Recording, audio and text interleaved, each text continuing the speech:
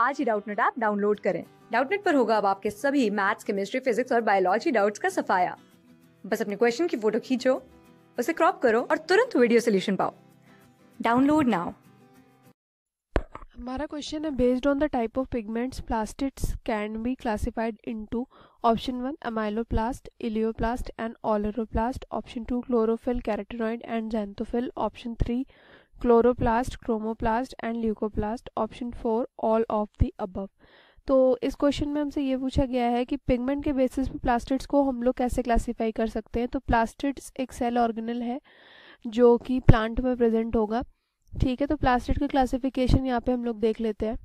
ठीक है तो प्लास्टिड्स तीन कैटेगरी में डिवाइडेड है पिगमेंट के बेसिस पे।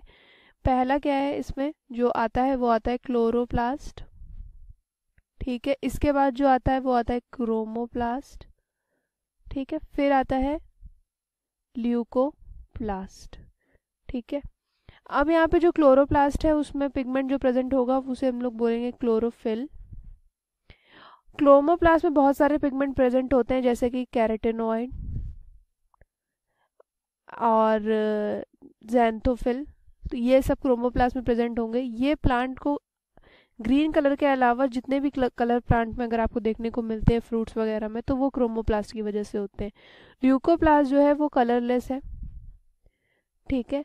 ल्यूकोप्लास्ट भी हमारा जो है वो तीन कैटेगरी में डिवाइडेड है। ठीक है? पहला अमाइलोप्लास्ट या इसके बाद जो है वो इलायोप्लास्ट ये क्या करता है कि ये स्टोरेज का काम करता है, ठीक है? और तीसरा है ऑलिरोप्लास्ट।